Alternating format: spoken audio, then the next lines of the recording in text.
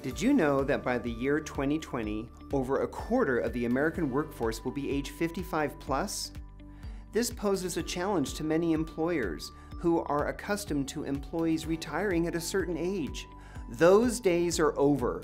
Employer, employees are choosing to stay in the workforce longer than ever for a variety of reasons. Some of it is personal satisfaction. They love their work and they want to stay engaged and contributing. Others need the money because their assets haven't done very well in the stock market. So, for employers with aging workforces, the challenge is how do I continue to maximize the contributions of individual employees as they age? So, employers do need to be aware of laws like the Americans with, with Disabilities Act and the ADEA when it comes to managing older workers. So there, there are laws against discriminating against workers age 40 plus, and there, the ADA does mandate that employers provide reasonable accommodation to employees based upon disabilities.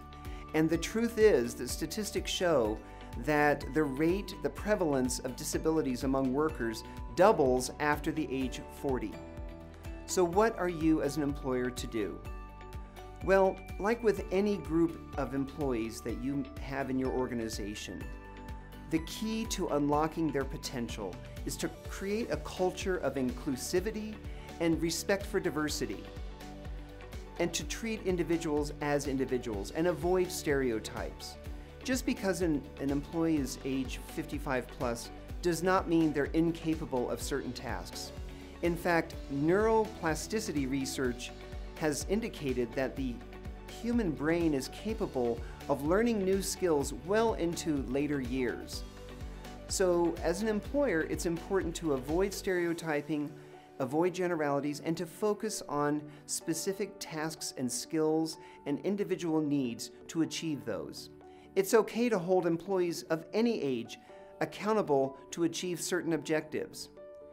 And by creating a collaborative, inclusive work culture, it's possible again to maximize the benefits to the individual employee as well as to the organization. Thank you for listening.